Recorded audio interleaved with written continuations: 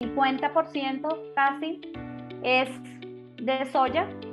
el 30% es de maíz, el 14% es de algodón, el 5% es de canola y hay un 1% que es de otros cultivos.